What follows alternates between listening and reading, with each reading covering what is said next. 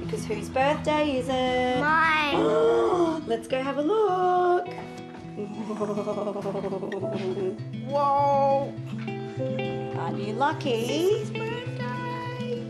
So I'm Marie and this is Mel, and we've been together 13 years. Um, and yeah, we've got two beautiful children Stella, who turns five today, and Jimmy, who is two. Push. Here we go. And this one. So I work in childcare, and Mel is a nurse working in disability support. So yeah, that's us. You know what you want. Hey? Right now, life is good for Brisbane couple Marie and Mel.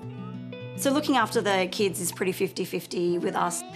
I have been talking to a, a few of my friends about how things are split up with, with them, and it has been a big, I think, got them thinking. All right, do you want your pancakes? I think both being mothers, we do share the mental load big time. We get breakfast ready. One of us will usually be helping the kids with breakfast while the other is doing, you know, lunch for Stella at school. I do think from, from what I've seen and, and obviously working in childcare as well, you know, I do see a lot of families. If children need to go home sick, it is often the mother. So in our house, we do try to tag team caring for the kids when they're sick. So once it's been one person, you know, one particular illness, we do swap over um, the next time round. We've both got careers that are equally important. You know, we don't want to be letting down our employers by always, you know, one person always sort of having to take time off. For this couple, division of labour in the house is not about traditional assumptions of who does what, it's about what makes sense. It's a clean slate. Like when we first moved out together, it was, I suppose, we just sort of worked out what we liked and didn't like, and and built on from there. It definitely does, you know, make for a more harmonious relationship. Um, not that we're perfect in any way, shape, or form. I want to make that clear as well. We have our moments, but um, yeah, I think we're both quite conscious of making sure that things are fairly evenly split. It's a model they hope Stella and Jimmy will absorb. I think they're growing up and seeing a fairly equal partnership. We need strong girls. And we also need strong boys who respect strong girls. So yeah, I guess that's what we're trying to, you know, Embrace. yeah, um, and raise them to be. Ah, yeah, and again.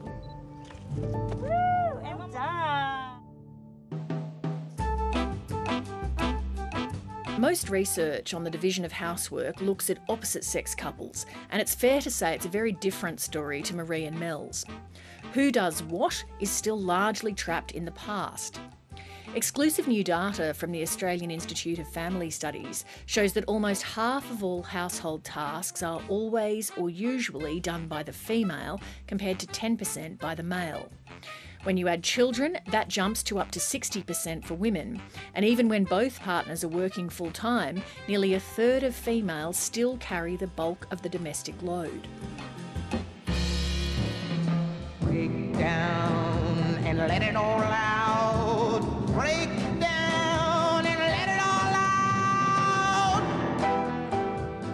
have changed the way that they live their lives hugely in the last half a century. What they haven't done is move out of their domestic roles, essentially. I mean, everybody knows um, families where that's not the case, right? Um, but the big patterns are undeniable.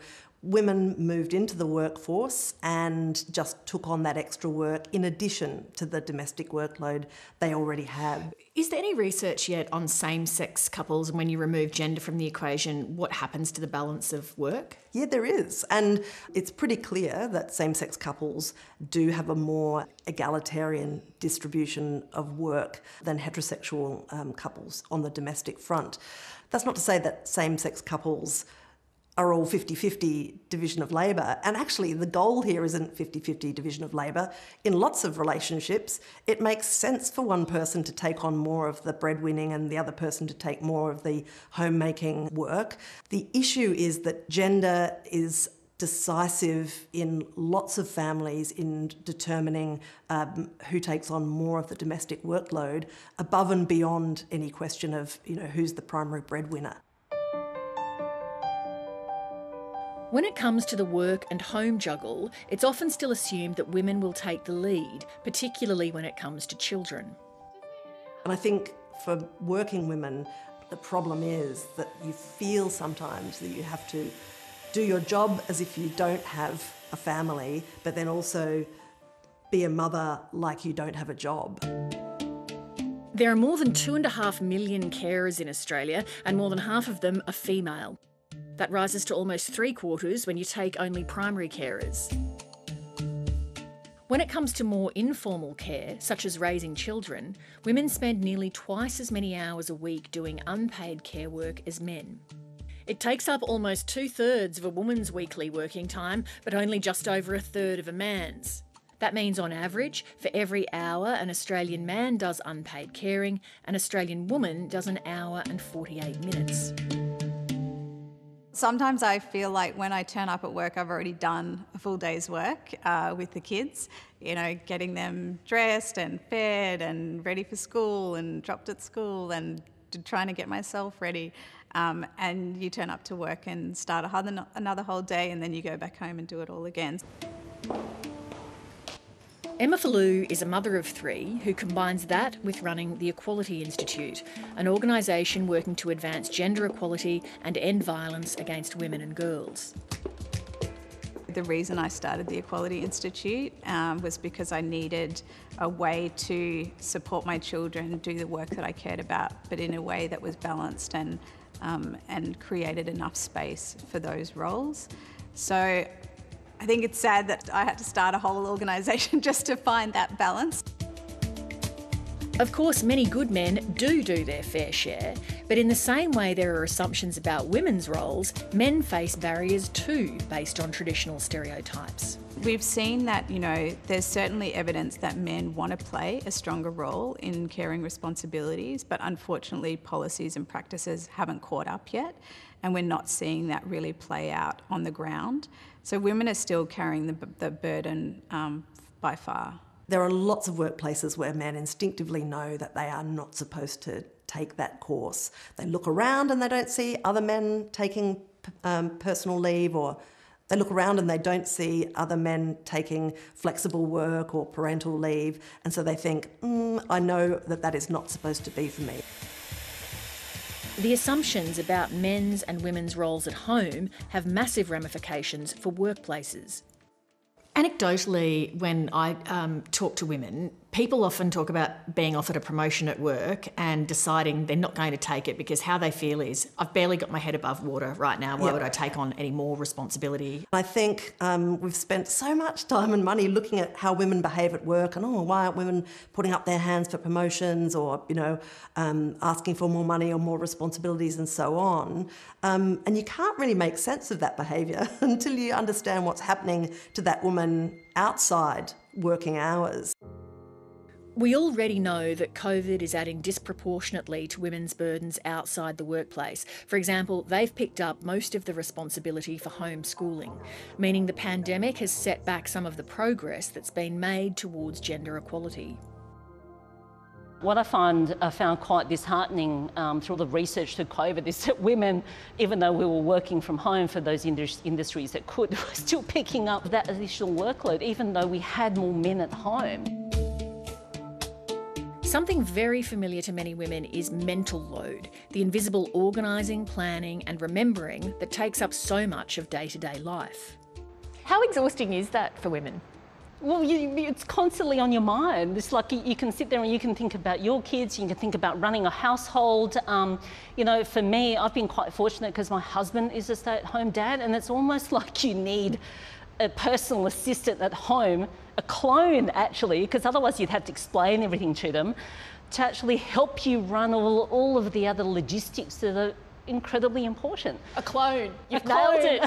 we don't need to do any further interviews. Clones is what is required. We have got the answer. a huge part of the domestic workload around children is done outside the home. It is remembering things. It is um, remembering that one of your kids is having a kid come over for a play date and that kid um, is allergic to nuts. It's all of these, you know, cloud of mosquitoes of tiny responsibilities that we know women have running through their heads even when they're at work in a way that doesn't happen to the same degree among men. I just remembered that I forgot to text the babysitter that there's no margarine in the fridge for the kids' lunches tomorrow. exactly.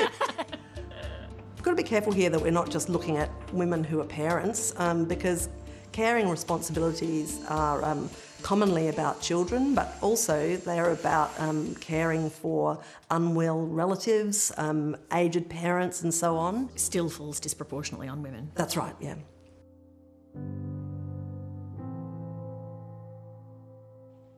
My name is Ashna Devaki Thapa. I'm 22 years old and I was born in Nepal and I'm living in Tasmania for seven years now.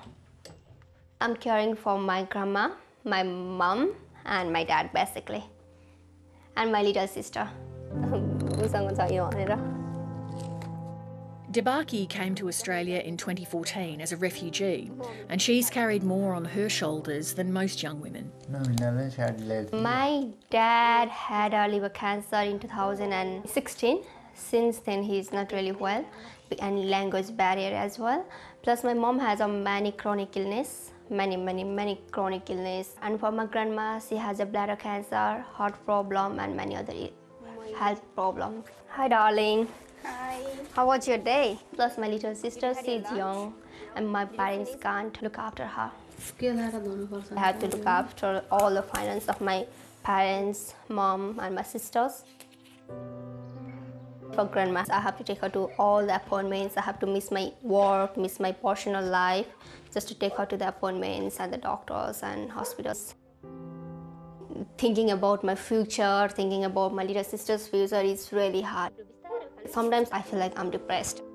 On top of being an unpaid carer, Debaki also works full time as a bicultural and disability worker, making it tough to find time for herself. I don't have my personal life or social life. I rarely go out with my friends. To be honest, I don't have any friends because of my caring role. After COVID, I feel like I can't go out much. I don't want to get a COVID from my work, so I am limiting my working hours and spending more time with my parents. She says in Nepalese culture, there's an additional layer of expectation for women when it comes to caring for family. In my community, they don't even have any idea what is carer mean. They don't even have any idea. They think it's our duty to look after our parents. So it's our duty actually rather than a carer role. Humans are the one who is running home. I want to be in equal level as my brother or any of the male. Despite her heavy load, Debaki doesn't complain. I love to have my parents, yes. it is a big job, but, but especially being in a different country because my parent doesn't have any language, so it would be very hard to survive on their own, so I have to help them. Does the government measure all the important aspects of our economy and society, chiefly unpaid domestic labour? I think it's a fascinating question because I think our community and our society and increasingly our economy relies so heavily on so much unpaid work, predominantly by women. And I don't think we do understand that and pack that into our discussion about how the budgets work and where we need to actually acknowledge what that heavy lifting of unpaid work is doing and how you might respond to that with the right kinds of investments in things like childcare and superannuation on paid parental leave. And for women like Debaki who are carrying a particularly heavy care load, Ming Long says the post COVID era is a chance to reimagine the work home balance. The crisis always presents an opportunity for us to have a really hard conversation with ourselves as a nation to understand what do we want to be in a post-COVID, you know, fifth industrial revolution. This is the moment to actually take what's happened to us, because we could not control that, and actually make the big leap ahead.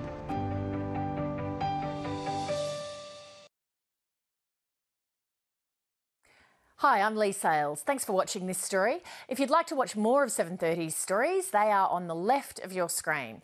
And tap on the button below to subscribe and get the latest from ABC News.